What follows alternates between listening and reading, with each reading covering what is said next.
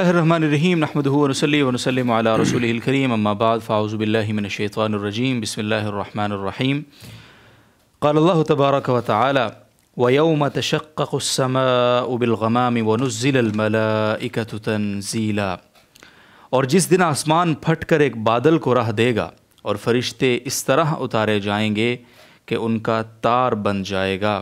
الملک یوم اذن الحق للرحمن. اس دن صحیح معنی میں بادشاہی خدائے رحمان کی ہوگی۔ وکان یومن علی الکافرین عسیرا، اور وہ دن کافروں پر بہت سخت ہوگا۔ ویوم یعز الظالم علی یدیہ یقول، یا لیتنی اتخذت مع الرسول سبیلا۔ اور جس دن ظالم انسان اپنے ہاتھوں کو کاٹ کھائے گا اور کہے گا، کاش میں نے پیغمبر کی ہمراہی اختیار کر لی ہوتی۔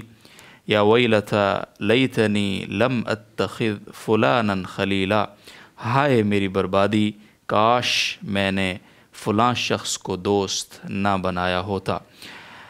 دنیا بھر سے دیکھنے اور سننے والے تمام ناظرین و سامعین، خواتین و حضرات، آپ کی خدمت میں السلام علیکم ورحمۃ اللہ وبرکاتہ۔ جی ٹی آر درس قرآن کا سلسلہ یا ایوہ الناس، آپ ملاحظہ کر رہے ہیں۔ صورت الفرقان ہمارا موضوع گفتگو اور آج جو آیت آیات مبارکہ آپ نے سماعت کی ہیں، وہ صورت الفرقان ہی کی آیت نمبر پچیس تا انتیس ہیں اور آپ کو معلوم ہے کہ سورہ فرقان کا درس ہو اور ہمارے ساتھ جو شخصیت موجود ہوتی ہیں، حضرت مولانا عبد المنعم فائز صاحب آج بھی تشریف رکھتے ہیں، تو ان کو خوش آمدید کہتے ہیں۔ اور آج کے اس درس میں آگے چل کے انشاءاللہ ہم ان آیات کی تفسیر تشریح اور جو بھی سوالات ہمارے ذہن میں آئیں گے ان کا جواب حاصل کرنے کی کوشش کریں گے۔ تو آپ سے درخواست ہے کہ آخر تک آپ پروگرام میں انشاءاللہ شریک رہیں گے۔ کوئی بھی سوال آپ کے ذہن میں آتا ہے تو آپ ضرور اپنا سوال بھی لکھ سکتے ہیں کامنٹس میں۔ نیکسٹ درس میں انشاءاللہ ہم کوشش کریں گے کہ اس کو بھی ایڈریس کریں۔ تو السلام علیکم ورحمۃ اللہ وعلیکم السلام خیریت سے جی ماشاء اللہ جی اللہ کرم آج یہ سورہ فرقان کی آیت نمبر پچیس تا انتیس۔ تو سب سے پہلے تو ان آیات کا کچھ مضمون اور کچھ خلاصہ ارشاد فرمائیے۔ جی بسم اللہ الرحمن الرحیم۔ ان آیات کے اندر چونکہ سورہ فرقان ہے اور سورہ فرقان کا موضوع جی۔ وہ حق کو باطل سے جدا کر دینا ہے حق کو نکھار کر لوگوں کے سامنے پیش کر دینا ہے۔ اس لیے ان آیات کے اندر بھی اللہ تعالیٰ یہ فرما رہے ہیں کہ جب قیامت کا دن ہوگا تم اس دن کے شاید انتظار میں ہو اس دن ہم ہر ہر چیز کھول کر رکھ دیں گے۔ تمہیں یہ چاہیے کہ تم دنیا کے اندر ہی توبہ کرو اور نیک لوگوں کے رستے پر چلو لیکن شاید تمہیں قیامت کے اس دن کا انتظار ہے۔ جب حق علیحدہ ہو جائے گا، باطل علیحدہ ہو جائے گا، حقیقت کھل کر سامنے آ جائے گی اور اللہ تعالیٰ اپنی طاقت، اپنی قوت کا اظہار کرے گا اور خدا اپنے فرشتوں کے ساتھ زمین پر اتر آ جائے گا۔ اور زمین پر جب خدا کو، فرشتوں کو اور یہ سب چیزیں تم اپنے روبرو دیکھو گے، اس لمحے پر پھر کافر یہ کہے گا کہ کاش میں اتخذ تمہار رسول سبیلا، کاش میں اپنے رسول، اپنے نبی کی بات مان لیتا۔ میں دین کے رستے پر چل جاتا اور کاش میں برے لوگوں کی صحبت برے لوگوں کی یاری سے توبہ کر لیتا لیکن اس لمحے پر اس توبہ کا اس بچنے کا کوئی فائدہ نہیں ہوگا اور پھر ہمیشہ کی جہنم اور ہمیشہ کی جو ناکامی ہے وہ مقدر ہو جائے گی۔ ٹھیک۔ جزاکم اللہ خیر۔ یہ ان آیات میں اللہ تعالیٰ نے شاید حشر کی طرف اشارہ کیا ہے کہ جس دن خدا رحمان ہی کی بادشاہی ہوگی تو سب سے پہلے تو یہ بتا دیجیے کہ یہ جو لکھا ہے کہ الملک یوم دن الحق الرحمن ترجمہ فرمایا اس دن صحیح معنی میں بادشاہی خدا رحمان کی ہوگی تو کیا اس سے پہلے خدا کی بادشاہی نہیں ہے کیا؟ یعنی اس دن اللہ تعالیٰ آشکار کر دے گا۔ لوگ اپنی آنکھوں سے دیکھ لیں گے۔ اور یہ منظر ہوگا جب پہلی دفعہ میں جب پوری انسانیت ختم ہوگی قیامت بپا ہو جائے گی جیسے ہم پہلے ذکر کر چکے کہ پوری دنیا تباہ ہو جائے گی اور تمام انسان وہ مر جائیں گے فرشتے فرشتوں کو موت آ جائے گی۔ ہم فرش کو اٹھانے والے جو آٹھ فرشتے ہیں ان کو اللہ تعالیٰ موت دیں گے۔ اس لمحے پر اللہ تعالیٰ پھر یہ اعلان کریں گے کہ ان الملک ان الدیان انا عین ملوک الارض۔ عین الجبارون عین المتکبرون کہ کہاں ہیں تکبر کرنے والے؟ کہاں گئے ہیں جو اپنے آپ کو سب سے بڑا سمجھتے تھے؟ تو اس لمحے پر اللہ تعالیٰ یہ ظاہر کریں گے۔ دوسرا پھر جب اس کے بعد میدان حشر بپا ہوگا جی۔ حشر کا معنی ہوتا ہے جمع کرنا تو میں حشر دو مرتبہ ہوگا۔ حش یہ جو دوسری دفعہ حشر بپا ہوگا اس حشر میں اللہ تعالیٰ پوری انسانیت کو ایک نئی جگہ پر جمع کریں گے۔ حدیث شریف میں آتا ہے کہ وہ جگہ بالکل نئی ہوگی اور وہ لوگوں نے دیکھی نہیں ہوگی۔ اس جگہ پر بھی اللہ تعالیٰ پھر یہ اعلان فرمائیں گے کہ اس جگہ پر اللہ تعالیٰ عدل کا، فیصلے کا، اس ترازو کو سامنے رکھیں گے اور انسان اپنے نامہ اعمال کو تلتا ہوا دیکھے گا اور جنت اور جہنم کا فیصلہ ہو رہا ہوگا۔ تو اس وقت میں انسان دیکھ لے گا کہ آج اللہ کے دن کہ دنیا اللہ نہیں بنائی تھی۔ ہر ملحد، ہر زندگی ہر خدا کو نہ ماننے والا، مذہب کا انکار کرنے والا اس دن اپنی آنکھوں سے دیکھے گا اور افسوس کرے گا کہ کاش میں اپنے رسول کی بات مان لیتا۔ صحیح۔ بہت شکریہ۔ تو یہ وکانہ یومن علی الکافرین عصیرہ یہاں پہ ہے کہ وہ دن کافروں پر جی، بہت سخت بہت سخت ہوگا۔ یہ یہ ہوگا جب دوسرا حشر بپا ہوگا۔ ایک تو پہلا حشر ہے۔ جی۔ پہلے حشر کا احوال حدیث میں آتا ہے کہ جب پہلے حشر ہوگا تو اس میں زمین ایک آگ ہوگی جو سارے لوگوں کو جمع کرتی ہوئی جی۔ ارض شام شام کی سرزمین کی طرف لے جائے گی۔ ساری دنیا کو وہاں جمع کرے گی اور پھر موت آئے گی۔ پھر اللہ تعالیٰ اس کے بعد جب ساری دنیا ختم ہو جائے گی، اس کے بعد اللہ تعالیٰ دوسرا میدان حشر بپا کرے گا۔ اور اس دن کافروں کے لیے بہت سخت دن آ جائے گا۔ کیونکہ یہ میدان حشر وہ وہ دن ہے جس دن اللہ تعالیٰ دنیا کے اندر آنے والے ہر ہر انسان کو، ہر ہر جانور کو، ہر ہر چرند پرند اور حشرات تک کو اللہ تعالیٰ جمع کرے گا۔ اور یہ جگہ کون سی ہوگی؟ حدیث شریف میں آتا ہے کہ ایسی جگہ ہوگی جو بالکل چٹیل ہوگی جسے آج تک تم نے دیکھا نہیں ہوگا۔ یعنی اس کا مطلب یہ ہے کہ وہ اللہ تعالیٰ کوئی اب اللہ کے علم میں ہے کہ وہ جگہ کون سی۔ صحیح۔ وہ اس جگہ پر اللہ تعالیٰ سب کو جمع کرے گا۔ پھر جانوروں کے درمیان بھی فیصلہ ہوگا کہ جس جانور نے دوسرے کو سینگ مارا ہے اللہ تعالیٰ ان کو اس سے بدلہ دلوائیں گے۔ لیکن جانوروں کا یہ ہوگا کہ وہ حساب کر کے اللہ تعالیٰ ان کو جی۔ فنا کر دیں گے وہ۔ ختم ہو جائیں گے۔ پھر انسانوں کا معاملہ شروع ہوگا۔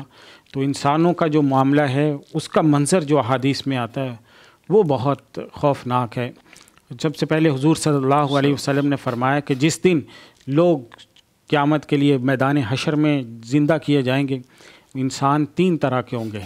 سمندر کے اوپر آنے والے خشکی پر چل کر آنے والے تیسرے نمبر پر وہ جو اپنے چہرے کے بل چل کر آ رہے ہوں گے۔ تو صحابہ کرام نے کہا کہ چہرے کے بل تو چہرے پر تو پاؤں نہیں ہیں جو انسان چل سکے۔ تو حضور صلی اللہ علیہ وسلم نے فرمایا کہ جس خدا نے پاؤں میں چلنے کی طاقت دی ہے وہ چہروں کے بل بھی اس دن چلائے گا۔ چلائے گا۔ اور یہ ان لوگوں کو چلائے گا اللہ تعالیٰ جو رب کے حضور دنیا میں سجدہ نہیں کرتے تھے۔ مفسرین نے لکھا ہے کہ اللہ تعالیٰ ان کے چہروں کو آج زمین کے ساتھ ملا کر اور پھر یہ سب کے سب میدان حشر میں جمع ہونا شروع ہوں گے۔ تو وہ حضرت عائشہ رضی اللہ تعالیٰ عنہ کی حدیث ہے، حضور صلی اللہ علیہ وسلم نے فرمایا کہ یحشر الناش کہ جو قیامت کے دن جب حشر ہوگا تو لوگ کس طرح سے آئیں گے؟ حفاتن عوراتن غورلن کہ وہ ننگے پاؤں ہوں گے، ننگے جسم ہوں گے اور بالکل ان کے جسم پہ کچھ بھی نہیں ہوگا۔ اور حضور حضرت عائشہ نے کہا کہ لوگ تو پھر یہ بڑی شرمندگی والی بات ہوگی ایک دوسرے کو نہیں دیکھیں گے۔ تو حضور صلی اللہ علیہ وسلم نے فرمایا کہ الامر اشد کہ معاملہ اس سے کہیں زیادہ سخت ہے اس ہوگا اس دن کہ انسان ایک دوسرے کی ہوش نہیں ہوگی۔ بالکل۔ تو ایسا منظر ہوگا۔ پھر لوگ چلتے ہوئے اور پھر دوسری روایت میں آتا ہے حضور صلی اللہ علیہ وسلم نے فرمایا کہ ہر شخص یا رق الناس اعلیٰ قدری جنوبی ہی کہ انسان جو ہیں وہ اپنے اپنے گناہوں کی بقدر پسینے میں ڈوبے ہوئے ہوں گے۔ دوسری روایت میں آتا ہے کہ سبعون زراعن تحت الارض، کہ زمین کے نیچے تک میں وہ پسینہ ہوگا اور اور لوگوں کے حلق تک وہ آ رہا ہوگا۔ اور یہاں تک آ رہا ہوگا کہ گلے میں پھانس لگ رہی ہوگی۔ یعنی وہ پسینہ جو ہے وہ انسان کے منہ کے تک اوپر آیا ہوا ہوگا اور گلے کے اندر وہ جا رہا ہوگا اور انسان کے لیے سانس لینا مشکل دو بھر ہو جائے گا۔ جان پہ بنی ہوگی۔ یہ کافروں کے لیے۔ اور پھر صحابہ کرام نے ایک روایت میں پوچھا کہ وہ دن ہوگا کتنا بڑا؟ تو حضور قرآن مجید نے اس کا دوسری جگہ پر جواب دیا۔ حدیث میں بھی اس کی تفصیل آتی ہے کہ خمسون الفا ثنا پچاس ہزار سال کے برابر وہ ایک دن ہوگا۔ پچاس ہزار سال۔ دنیا میں کوئی تصور کر سکتا ہے؟ ساٹھ سال ستر سال کا انسان وہ تصور نہیں کر سکتا کہ پچاس ہزار سال صرف یہی سزائی کافروں کے لیے کتنی بڑی ہے۔ اللہ کے مجرموں کے لیے کتنی بڑی یہ سزا ہے کہ اس دن ہر شخص اپنے پسینے کی بقدر وہ گناہوں کی بقدر پسینے میں ڈوبا ہوگا۔ وہ پسینہ اس کے سانس کو روک رہا ہوگا۔ یہ یہ یہ جو صورتحال ہے یہ صرف کافروں کے ساتھ خاص ہے؟ یہ یہ پھر اگلا مرحلہ ہے کہ جی۔ صحابہ اکرام نے پھر پوچھا کہ جو مسلمان ہیں ان کے لیے کیا ہوگا؟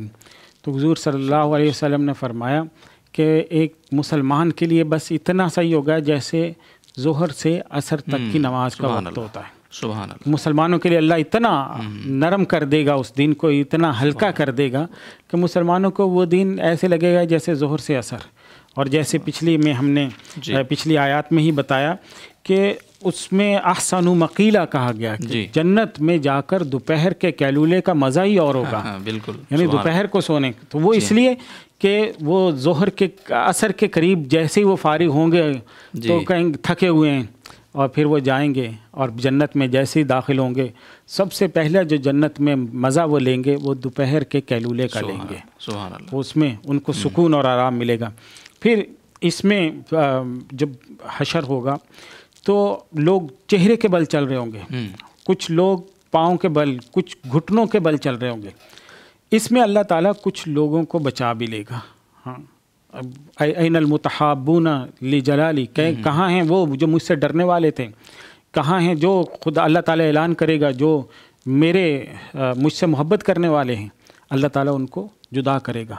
پھر ہر شخص کو ظاہر اتنی اور دوسری روایت میں آتا ہے کہ تدن الشمس یوم القیامتی کہ قیامت کے دن سورج اتنا قریب میدان حشر میں آئے گا کہ ایک میل کے فاصلے پر ہوگا۔ اب صحابی فرماتے ہیں کہ یہ میل جو ہے یہ سرما دانی کو بھی کہتے ہیں۔ تو سرمے کا وہ ڈالنے والا سلائی۔ سلائی جی۔ وہ اتنی دور ہوگی یا یہ ایک میل کے فاصلے پہ ہوگی؟ تو اگر ایک میل کا فاصلہ بھی ہو تو یہ کتنی بڑی گرمی کا دن اور کتنی وحشت کا دن ہوگا اور اس دن سائے کا مل جانا اس سے بڑی نعمت کوئی نہیں ہوگی۔ ٹھیک ہے اور اللہ تعالیٰ کے برگزیدہ اللہ کو ماننے والوں کو تو نصیب ہوگا ان شاء اللہ اس کے عرش کا۔ انشاءاللہ۔ بالکل۔